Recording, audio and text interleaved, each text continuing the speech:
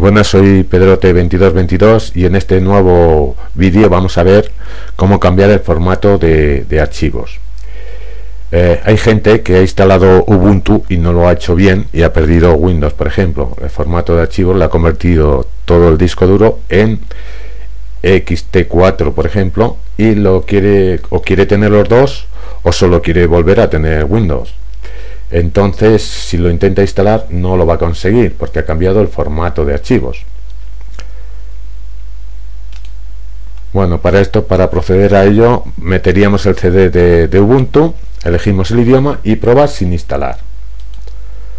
Una vez que hemos hecho esto vamos aquí inicio escribimos gp y ya nos sale editor de particiones como habéis visto yo lo he hecho para quitar de menos.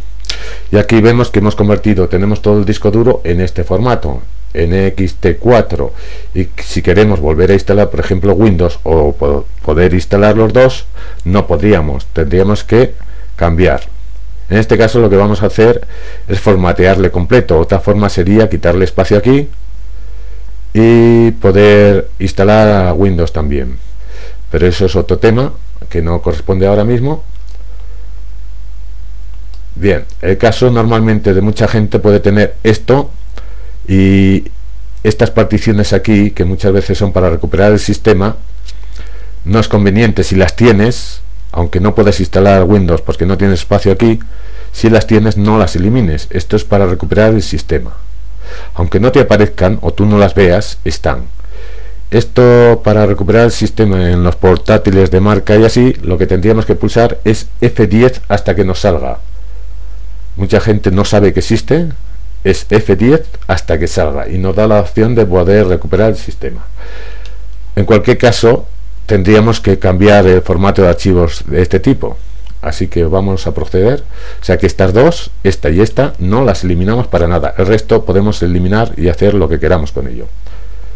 Bueno, vamos a proceder al caso que correspondía ahora, que es este. Este hemos convertido todo todo el disco duro a este formato.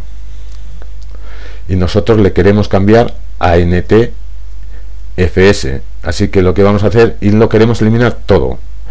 Si tendríamos los otros dos ya he dicho los conservamos y esto lo cambiamos. Hay varias formas de hacerlo. Nosotros lo que vamos a hacer crear una tabla de particiones no es el caso pero podríamos hacerlo. Y aquí lo que vamos a hacer es eliminar vamos a, proceder a eliminar todas. Vamos a empezar por esta. Damos en, ahí en aplicar. Y estamos eliminando las particiones. Vamos a eliminarlas todas.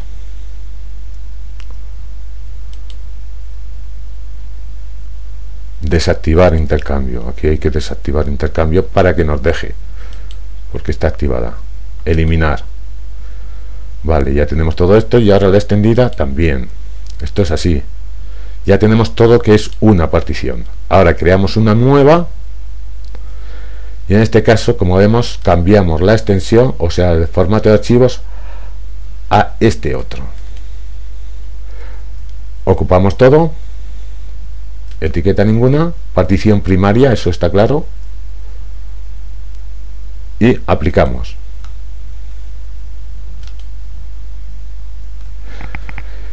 De forma tan simple, a partir de ahora reiniciaríamos el equipo y ya podríamos volver a instalar Windows con el formato NTFS. Si luego quisiéramos desde aquí ya preparar particiones para Ubuntu, eso ya es se puede hacer también, o reducir o crear varias particiones o lo que se quiera.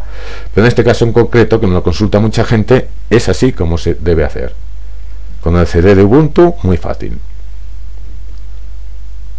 Una vez que no lo complete, reiniciamos el equipo y podemos instalar Windows XP, Vista o 7, lo que queramos. Que a mucha gente le pasa porque comete el error de eliminar todo el disco duro para instalar Ubuntu. Y lo ideal, si tienes dos sistemas, es mejor que uno, siempre. Aunque uno no le utilice prácticamente. En mi caso es Windows, el que no utilizo. Pero si lo tienes, yo no lo elimino. Ahora tengo en algún ordenador que no tengo para nada Windows, pero vamos, si lo tienes es bobada eliminarlo.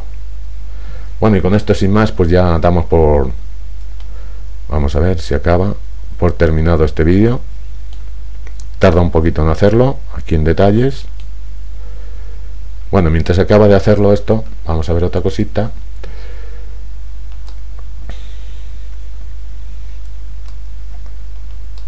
Aquí estoy grabando como lo estoy grabando. Hay gente también me han preguntado claro cómo saber el espacio libre que tenemos esto es muy fácil como vemos aquí vamos a ver y donde pone barra de estado tenemos que marcar barra de estado para que así nos informe del espacio que podemos tener en cada partición del disco duro libre. Bueno pues con esto doy por finalizado ya este vídeo. A ver si ha acabado bien ya está completado. Y vemos que nos lo ha cambiado ya a la partición que queríamos al tipo de partición. Desde aquí mismo si quisiéramos podríamos redimensionar mover pero no es el caso. Aquí cambiaríamos el tamaño que queremos dejar para otro tipo de archivos lo que queramos. Pero el caso en concreto este es para convertirlo a este formato en sí mismo podríamos instalarlo después pues al instalar el propio sistema cambiar la partición. Bueno y pues sin más hasta el siguiente vídeo